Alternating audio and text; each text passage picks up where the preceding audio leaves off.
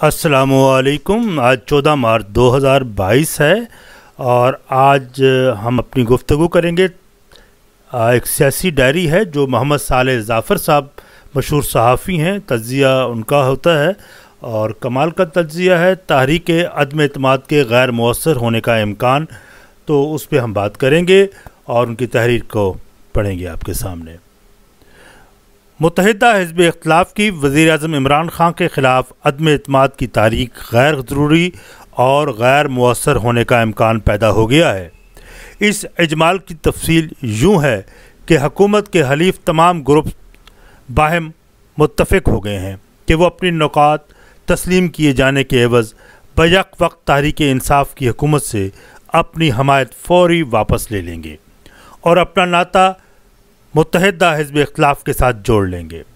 इस सिलसिले में मंगल 15 मार्च को डेड लाइन करार दिया जा रहा है। पाकिस्तान मुस्लिम लीग काफ के मरकज़ी रहनमा सबक नायब वज़ी अजम चौधरी परवेज़ इलाही के मुताबिक उन हलीफ ग्रुप्स के कौमी असम्बली में 24 अरकान हैं, जबकि सूबाई असम्बलियों में उनकी अददी मौजूदगी अपने अपने सूबों की हुकूमत को ज़ेर ज़बर कर सकती है। आज दोपहर हलीफ ग्रुपों के बाहमी और मुतहदा हिजब इख्तलाफ की सलाह मशवरा मुकम्मल होने की तो है।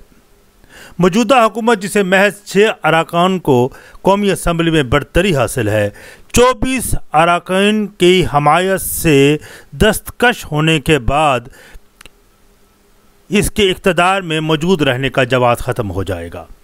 अगर वो मुस्तफ़ी होने जाने का रास्ता इख्तियार नहीं करती तो स्पीकर को यह बाबा इतला मिलने के बाद हलीफ ग्रुप्स हुकूमत से अलहदा हो गए हैं।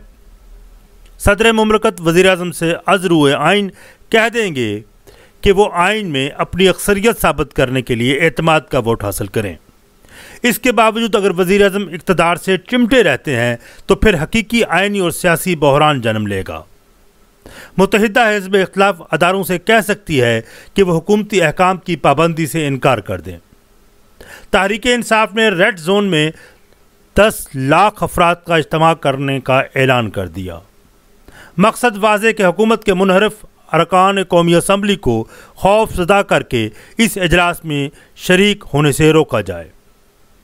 इसके जवाब में पाकिस्तान मुस्लिम लीग नून के सेक्रेटरी जनरल, सबक वफाकी वज़ीर, प्रोफेसर एहसन इकबाल ने 20 लाख अफराद को शाहरा दस्तूर पर एन उसी दिन जमा करने का ऐलान कर दिया है।